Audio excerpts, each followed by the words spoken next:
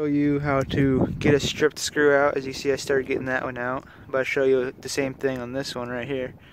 So, uh, yeah, you put your screwdriver in there, it just turns and shit. You get a fucking lower one or whatever it's called, and you put it in there, and it still turns because it's just, it's just gooey.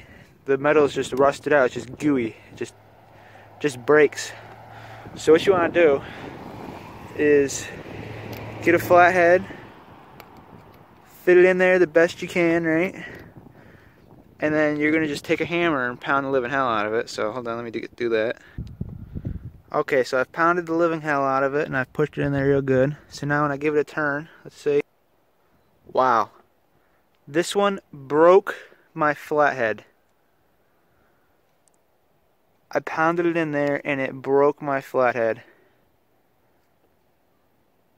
See, it turned this on, but I gotta get some, a stronger set of flatheads, I guess. I'm just gonna cram it in there one more time and see if we can do this.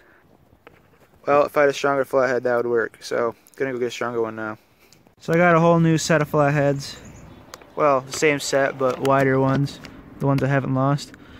And uh, let's see if we can get it in there without breaking this time. I mean, I got it in, but when I went to turn it, it snapped right off. See, that's how you know you got it in there proper, when you don't even have to touch her and she stays in there.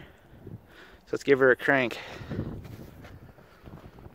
What do you think's gonna happen? Oh my gosh, it just stripped the friggin' shit out even more. Look at all that. Oh my gosh. That one's friggin' in there. I hit it with a hammer a few times, maybe loosen it up a bit. It has been defeated. See, I told you this trick was no bullshit.